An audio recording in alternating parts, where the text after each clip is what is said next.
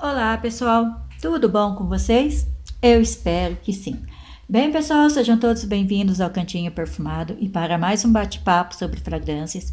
E hoje eu compartilho com vocês as minhas impressões de um dos últimos lançamentos da casa Jequiti, o Gil Antonelli. É uma fragrância de 100 ml. Veio nessa caixinha aqui, simples, uma caixinha branca simples com escrito em dourado.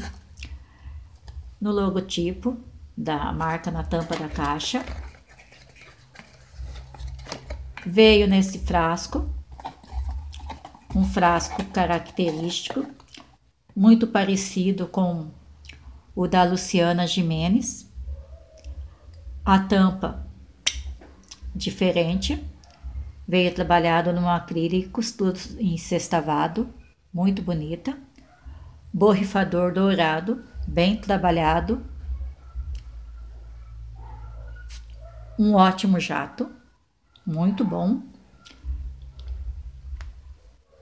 Independente do nome Gil Antonelli ser o nome de uma atriz, de uma celebridade, poderia ter qualquer um outro nome que não diferenciaria a fragrância é classificado como uma colônia, mas poderia ser um eau de parfum tranquilamente. Que ele tem qualidade de eau de parfum.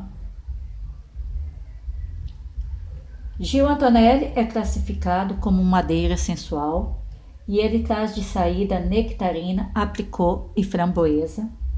De corpo ele traz amêndoa, couro de graça e fleur de coeur e no fundo tem acorde suede, sândalo, madeira de cachemira, âmbar e musk.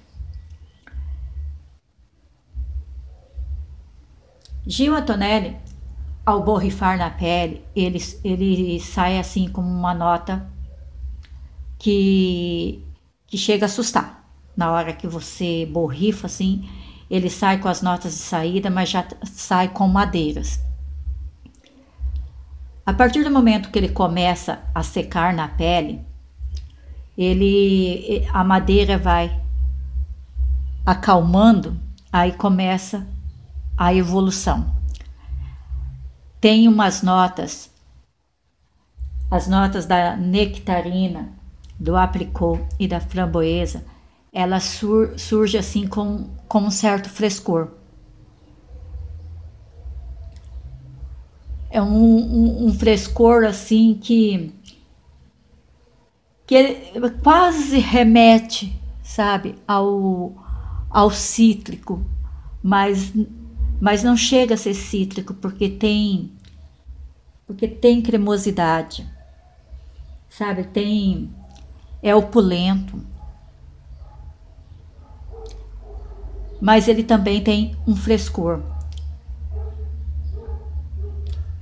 ele chega assim, como se ele tivesse essa saída, se aplicou, a, a framboesa, tudo, tivesse com, com um ardidinho das madeiras, sabe, que remete a um frescor.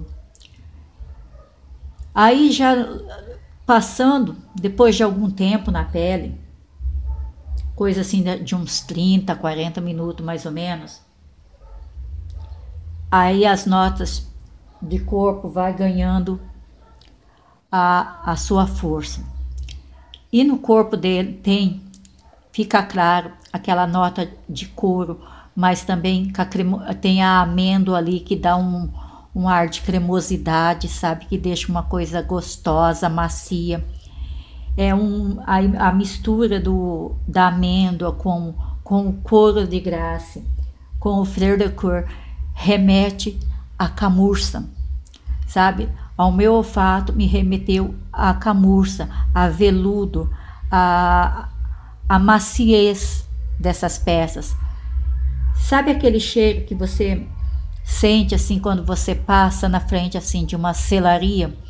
Aquele cheiro de couro ali, daquele couro curtido, daquele couro é, já já trabalhado, industrializado, aquele, aquele couro é, tipo de camurça mesmo, que, que muito usado para fazer bolsas, cintos, sabe? A, a estofado, sabe? Mas é um cheiro confortante.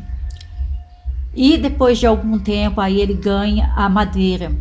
Ganha a madeira, ela tem, tem o sândalo, que é uma madeira macia, uma, uma madeira confortável. Tem o cachemira. E também tem o âmbar, que já é uma nota quente. O âmbar aparece bem no final, sabe? Fica aquela mistura de, de, de no final fica aquela mistura assim de notas amadeiradas com a, o calor do âmbar e também com o musk. Sabe, sabe aquele tradicional assim cheiro de, de madeiras, de, de que a gente sente quando a eu não sei, arremete muito a ao final fica muito parecido com patchouli e musk junto, sabe? Não tem patchouli na, na pirâmide, mas eu não sei se nesse combo, talvez de notas amadeiradas, tenha um pouco de patchouli sim, porque no final fica aquele cheiro gostoso de, de como se fosse do patchouli. E notas amadeiradas, musk e e do, do âmbar, todo o calor, toda a sensualidade, a cremosidade do âmbar e do sândalo. Mas são notas amadeiradas, mas são notas que que não é um madeirado masculino, não. É um madeirado gostoso, é um madeirado confortável, que não remete a, a, a perfumes masculinos. É, embora que eu considere essa fragrância aqui bastante compartilhável. Muito compartilhável mesmo. Mas não é umas notas amadeiradas pesadas, são notas amadeiradas suaves, são é confortável, é macia, são, é uma fragrância de, de conforto, de aconchego, sabe? É, é aquela fragrância que, que te abraça e te envolve, sabe? É uma fragrância de sensualidade, sabe? O final dela tem sensualidade. E então é, é uma fragrância que eu recomendo, sabe? Eu recomendo vocês conhecerem, mas não recomendo comprar sem experimentar antes, tá? É uma fragrância que que apesar de ser um perfume maravilhoso, completo, que a mim agradou bastante, não pode não agradar a todos, devido às notas de couro que aqui tem e das notas de madeira, embora sejam umas notas de madeiras bastante aconchegantes, bastante confortável.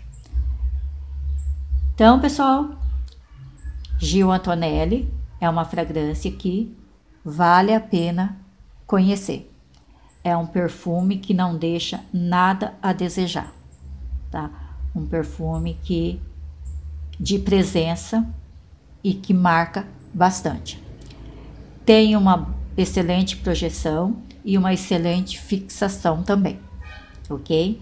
Super recomendo vocês aí do outro lado conhecerem Gil Antonelli, tá? E se você querer adquirir, como eu já disse, experimente antes. Então, pessoal, espero que tenham gostado do vídeo. Fiquem todos com Deus. Até o próximo. Beijo!